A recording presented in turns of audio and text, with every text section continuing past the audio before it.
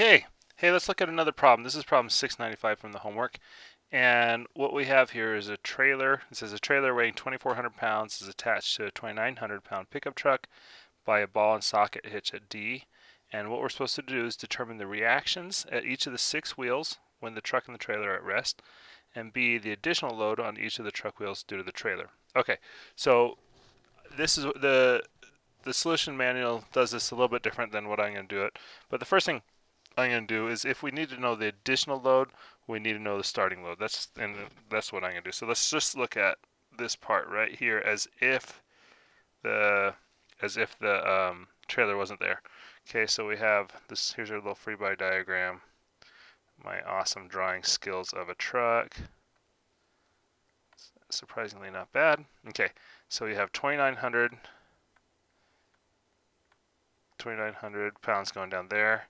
Here I'm going to put 2C and here I'm going to put uh, 2B just because there's two wheels at each point. I'm going to try to make this 29 look like a 29. Okay, so uh, I'm going to say the sum of the, oh, stop that. The sum of the moments at, say, B is equal to 0. So what do you have? You have 2,900 times the distance from it, and B is 5 feet. So that moment, so this force times this distance right here is going to equal the this force times this distance right here. So that needs to be equal to 9 times 2c, because that's the force at c. So therefore, c is equal to, works out to be 805.5, uh, that's pounds per tire. And then I'm going to take the sum of the forces in y equals 0. So now there's 2900 minus 2 times 805.5 is equal to 2b. So therefore b is equal to 644 pounds per tire.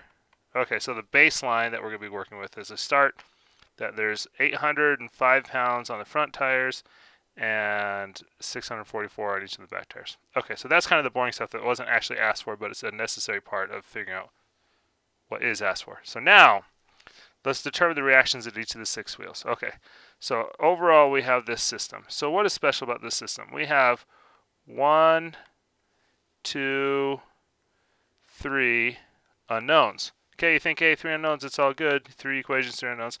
But since this thing is only doesn't have really a z component to it, we're only dealing in x and y's, we only have really two equations.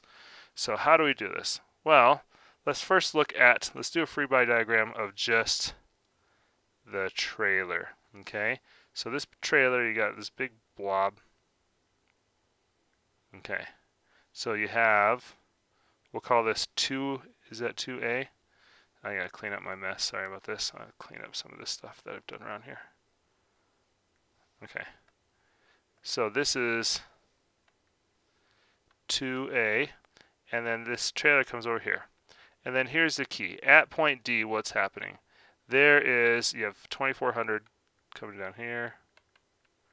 And then there's a force at D.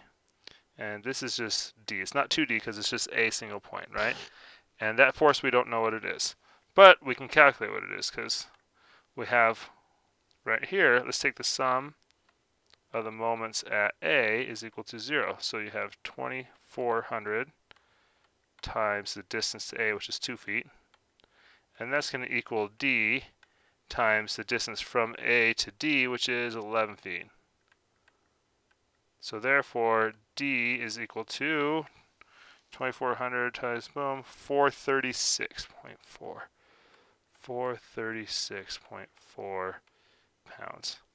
Okay and then do the sum of the forces and y equals 0 and then so you have um, 2400 the downs are equal to up so 2a plus d which is 436.4 so therefore a is equal to 981.8 pounds per tire so at A, so the trailer tires are each experiencing 981.8 uh, pounds of force.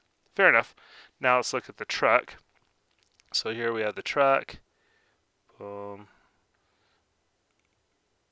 Okay, so here you have the truck.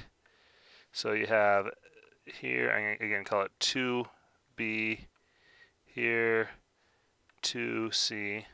The weight of, in this case, 2900. 2900. But there's an additional back here at D. There's an additional force D. You'll notice that, that I'm going to call that D. I'm trying to equal and opposite to this D because this portion is being pushed up, this portion is being pushed down. And by how much? Well, we know it is by this amount. Okay, so then we can kind of just figure it out. We'll do this again, the sum of the moments at, we'll call it B just for giggles, is equal to zero. So now you have D times the distance from there to there, which is three feet. And that's going to be in the same direction as, so that's going to want to, I lied, that's going to be in the same direction as plus 2c times 9, which is the distance from there to there. And that is going to equal to 2900 times 5. So it's this moment is going to cause it to rotate this way, just like this one is also going to cause it to rotate in that same direction. So we know D, D is 436, and go through and calculate C, and therefore C is equal to uh, 7, oops, sorry, where's C? I'm looking at my notes, I'm cheating. C is equal to 732, 32.8 pound per tire.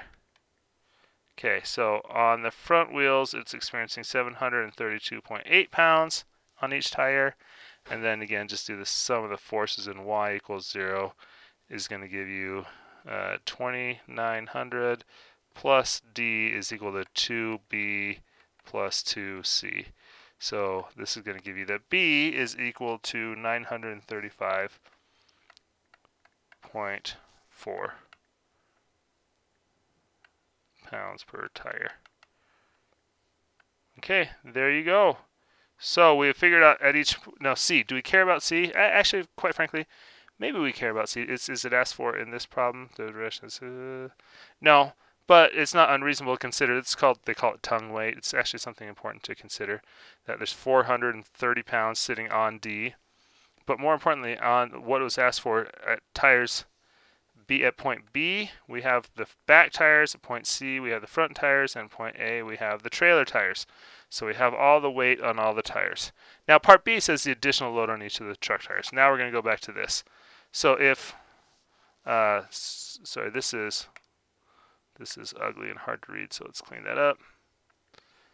The answer was 935. So now we can just look at the difference. The difference between what the tires used to be. The back tires used to be 644, now they're 935. So delta B is uh, an increase of 291 plus 291 pounds. And delta C is it was 730 sorry, it was 805 and then it actually dropped to 732 so it's actually a decrease of 72.5. And again, smell test, does that make sense? When you're putting a bunch of weight on the back of the trailer, uh, then you it'll lift up the front tires. So it puts more weight on the back tires and puts less weight on the front tires. So yeah, that's that passes the smell test. So that is how you do that type of problem. Um, the key is that it's that it's all about this point right here, right? You, you draw two related, um, independent but related free body diagrams, right? And the point is that here you have a force D going in this direction. And here you have that same equal force in the opposite direction on the on the truck.